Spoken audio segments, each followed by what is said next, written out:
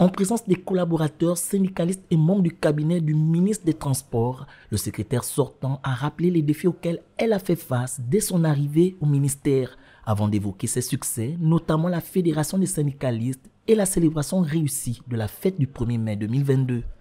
Euh, durant ma, ma mission au transport, j'avais en charge la coordination de l'action administrative.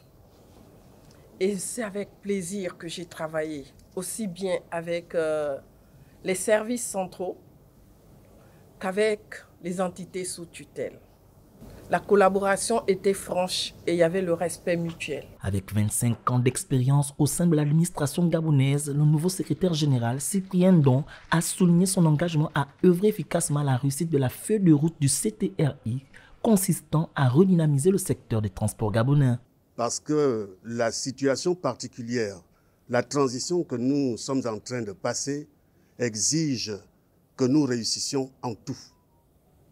Que nous réussissions et que nous soyons dans l'abnégation. Ce n'est pas, on ne nous demande pas d'être tous parentés, de nous aimer, mais on nous demande de servir la République, de servir le citoyen gabonais, de servir l'usager. C'est une passation de pouvoir qui marque une nouvelle étape pour le ministère des Transports sous la direction de Cyprien Don.